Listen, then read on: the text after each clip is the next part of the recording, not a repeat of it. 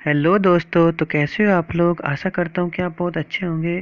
दोस्तों, मैं आपका स्वागत करता हूँ अपने यूट्यूब चैनल जी के नॉलेज पॉइंट में। तो दोस्तों जो भी मेरा भाई सरकारी नौकरी की तैयारी कर रहा है वो फिर देर न करते हमारे चैनल को सब्सक्राइब कर लीजिए और ताकि हम आपको हिंदी जी के सामान्य ज्ञान के सभी क्वेश्चन टाइम टाइम पर आपके पास पहुंचाते रहे। और ये मैंने जो चुनिंदा क्वेश्चन लिए हैं अगर आप इनमें से किसी का भी ऑप्शन जान आ, किसी का भी उत्तर जानते हो तो आप कमेंट सेक्शन में हमें बता सकते हैं। तो चलिए वीडियो को स्टार्ट करते हैं। आपका पहला क्वेश्चन है भारतीय फ़िल्म अभिनेता शत्रुघ्न सिन्हा किस राज्य से संबंधित है?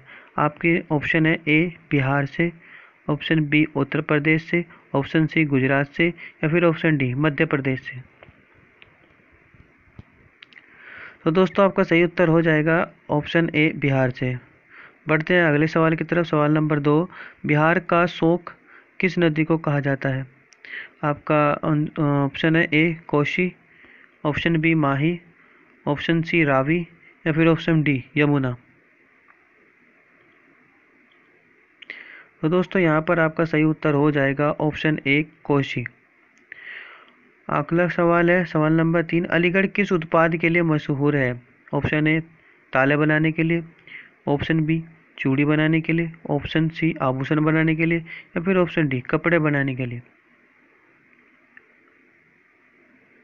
तो दोस्तों, यहाँ पर आपका सही उत्तर हो जाएगा ताले बनाने के लिए ऑप्शन ए आपका सवाल नंबर चार है, किस भारतीय राज्य में विशाखापट्टनम पट्टनम बंदरगाह स्थित है? तो आपके ऑप्शन है A Andhra Pradesh option B Nagaland option C Manipur, या फिर ऑप्शन डी महाराष्ट्र। तो दोस्तों, आपका यहाँ पर सही उत्तर हो जाएगा ऑप्शन ए आंध्र प्रदेश। बढ़ते हैं अगले सवाल की तरफ़। सवाल नंबर पाँच शाहनामा किसकी कृति है? आपके ऑप्शन है Firdausi option B Akbar option C Nawab Pataudi या option option D Ghazal Khan.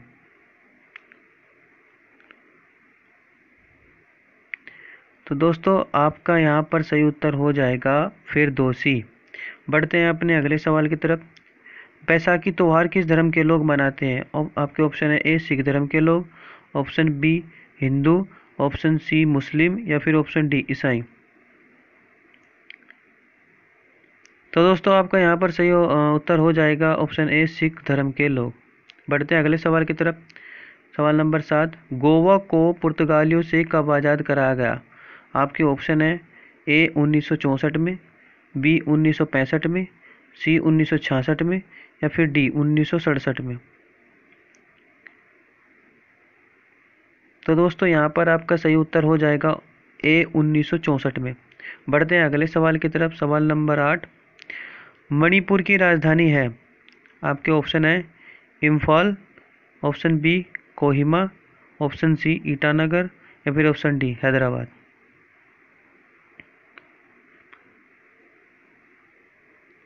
तो दोस्तों, यहाँ पर आपका सही ऑप्शन हो जाएगा ऑप्शन है इम्फाल। तो बढ़ते हैं अगले क्वेश्चन पे सवाल नंबर नौ। कौन सी नदी महाराष्ट्र के नासिक से निकलती है? आपके ऑप्शन है A Godavari option B Ravi option C Mahi या फिर ऑप्शन डी गंगा। दोस्तों, आपका यहाँ पर सही उत्तर हो जाएगा ऑप्शन ए गोदावरी। पढ़ते हैं अगले सवाल की तरफ़। सवाल नंबर दस। अनुच्छेद 370 भारत किस राज्य में लागू है? आपके ऑप्शन है Jammu Kashmir option B Rajasthan, option C Madhya Pradesh या फिर ऑप्शन डी आंध्र प्रदेश।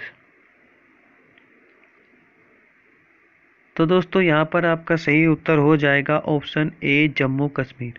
तो दोस्तों, ये थे वे कुछ चुनिंदा क्वेश्चन तो दोस्तों, आपको इनमें से जिसका भी आंसर पता था पहले से ही तो आप हमें कमेंट सेक्शन में बता सकते हैं और दोस्तों, बने रहिए तब तक ऐसी ही वीडियो के लिए।